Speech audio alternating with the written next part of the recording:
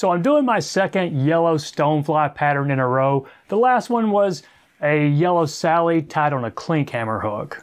Today's is another female tied with the red egg sac, but it's a very different fly. It's got some squirrel tail and antron for a wing, but it's also a foam body. And I am tying it on a long hook. It's a size 16, but it's 3 extra long, so really the bug is probably about the size of a 14. And I am using a fairly unique technique for the body. It's a closed cell foam, but I'm cutting it in a really thin strip and then just wrapping it up like I would a dubbing, so it's not at all a hopper type body. And what this technique will do for you is it creates a fly that floats pretty well, but it doesn't float high. So in theory, the body should sit down there in the surface film with both the red butt and the wing visible to the fish. Now, is this going to be buoyant enough to hang a weighted nymph off as a dropper?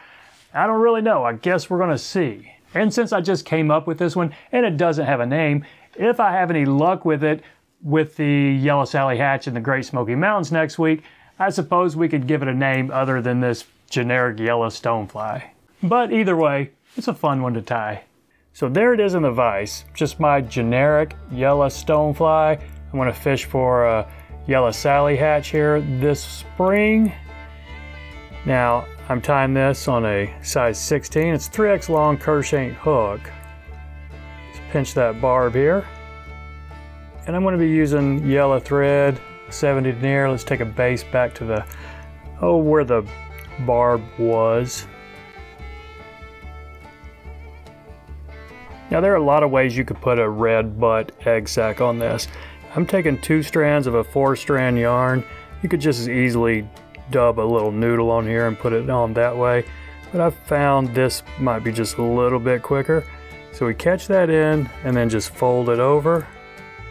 Get a little bump right there, kind of like the, the butt of a, a Dave's hopper, I think, uses this little technique. And that's, you know, way big right there. So let's take it back close some of this off right here. Okay, that's about how much I want right there. So we'll get rid of this excess up front. Now we'll take our thread up here about a third of the way back. And for the body, this is where I'm different a little bit. This is a two millimeter foam and I've cut it about two millimeters wide. So it's kind of a square little piece here. I'm gonna catch it in up front and then squish it pretty flat going back. Now I'm just going to wrap this up. I'm going to pull it pretty tight, which is effectively taking a, a pretty buoyant material and making it less so by pulling it kind of tight here. But that's fine. I don't want a high floater, but tying it this way will, it'll still be a pretty good floater, just not a real high one. Let's bury this nub just a little bit right here. And the next thing I want to catch in, just some Antron fibers here. Not a big tuft, just going to give it a little bit of flash under the squirrel wing we're going to tie in in a second. I'll leave it a little long so I can trim it to size here in a, just a second. Snip the front and then for the back, just a little bit longer than that butt there. And for the proper wing, just some gray squirrel. Unstacked, not a huge tuft of it. Want it to be maybe a little bit longer than that underwing right there. So let's go about right there. I'm going to spin my thread clockwise to cord it up a little bit. Could have put some wax on it. It might have been smart, but I think we'll be fine right there. So there's our wing there. A few tight wraps going forward before I snip this. And I'm going to try to snip this at a little bit of an angle.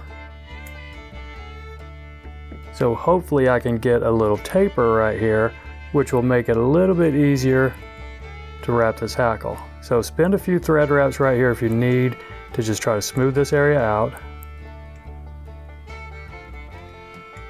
Well, I did not get a very smooth taper right there. I got a little bit of drop, but we'll see if we can work with it. And for the hackle, just white, white dry fly rooster feather here.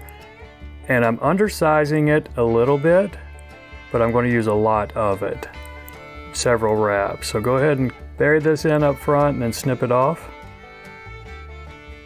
Now let's take our wraps. We're going to do several wraps, six, seven or more wraps to get us up here to the eye. Okay, maybe that was five, but it'll be enough. And before I snip it, I'm going to just pull these back.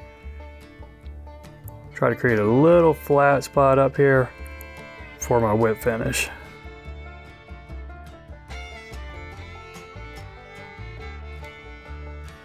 Now we can snip this excess and see if we have any cleanup. We've got one fiber here going forward. Just snip or pluck that.